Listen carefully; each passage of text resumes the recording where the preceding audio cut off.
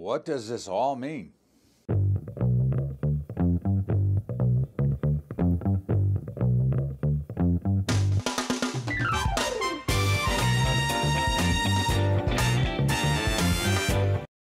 What's up, everybody? Welcome aboard to Bubba's Daily Update. And this is a midday, about a 1 o'clock Eastern Time update. And wanted to let everybody know what I was thinking about the markets and what I see going on here. And of course, what are we seeing right now? We're seeing the markets calm down. We had ex- a huge explosion last night with the Dow up over 400, the S&P up over 50 points, the Russell exploding, the Nasdaq exploding, oil going to the moon, the grains, everything couldn't be better, right? Everything was everybody was happy and it was all happy happy to be there. Of course, we talked about this last week, and this could be the result. You had this compression and then you had this explosion. Well, interesting enough, okay, the markets went right to a resistance level. Unfortunately for me, my algorithms turned over for some of the longer term stuff, which turned long, but that's the way life goes. But in the meantime, in the short term, it isn't a major surprise that we're seeing a little bit of selling pressure here. And again, selling pressure is, is, is, all you know what you look at. I mean, the markets were up 400 or almost 500. They're now up about 250. So again, we could certainly turn around and rally from here, or we could continue to sell off. I think the key to watch here is the VIX and the Russell. The Russell was up big and then it was down big and then it's now back up again right now. So I think it's something to watch out for. And there's a couple of things that are a little bit concerning from a market standpoint. Why is gold up at 1240 trying to break out? There is no fear. And again, I'm not a fear believer that gold is a fear asset, but usually the street thinks that way. So gold is right up there pushing against that 1240 resistance. The grains, as I texted out last night to my guys, they were much higher. And I said, if you had multiples, I would take some off the table way up there because we have seen about a, we've seen about a 50 to 60% sell off back in the grain markets. Now, again, I'm still very positive grains. I think they're going higher. The sell off was no surprise. Again, anytime you see one of these gaps or blow off type openings, either up or down, you want to usually look to get on the other side if you can. I think that was exactly what happened. Oil ran up to almost 54 hour target, almost got us back in again, but of course it is settling down a little bit. But again, we'll still look at that 54 to sell. We'll th- we think it'll probably consolidate here between you know 49.50 and 55 or so, somewhere in those areas. And again, we want to sell towards the upper end of that range. The the overall bullish bearishness in oil has not changed. Okay. The markets have not changed. We are still in this wide consolidation band. Now we're at a key critical point in markets. We could break out to the upside and have that big Santa Claus rally, or it's possible the tops could be in. Now, again, the stuff I use, the algorithms I use on a weekly basis, have indicated that this market should be a buy here.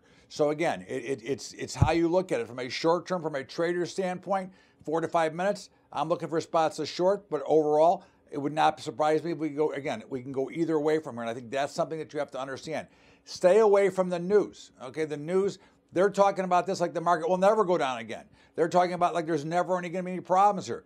Well, again, we continue to bang the drum that the Fed is going to screw it up. That's number one.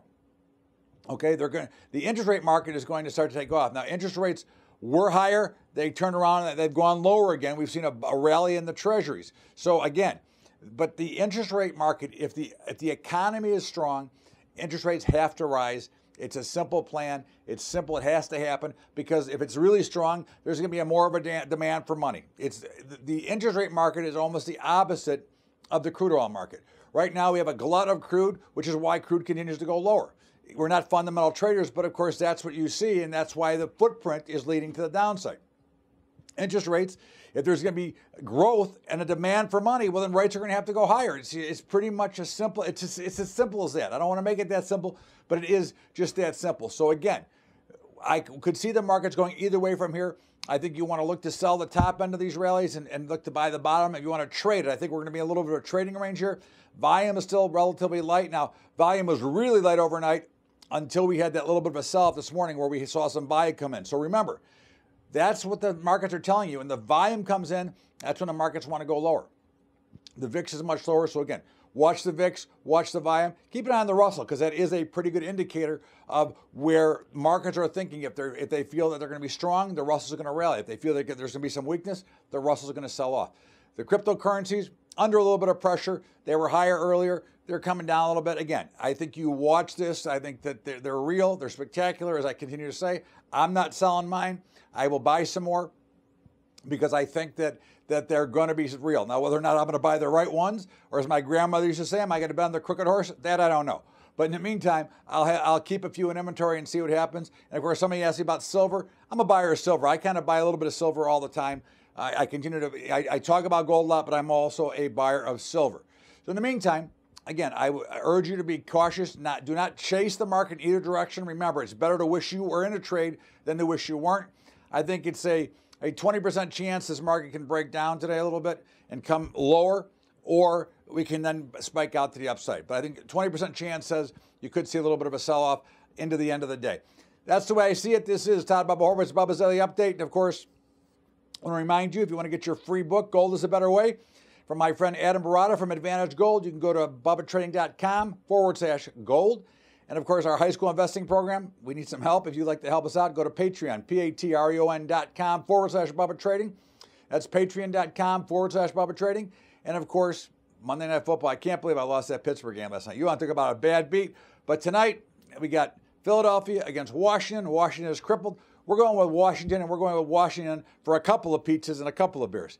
That's the way I see it. This is Bubba's Midday Update. We'll see you back here tomorrow with more from Bubba's Daily Update. Have a great day, everybody. See you later.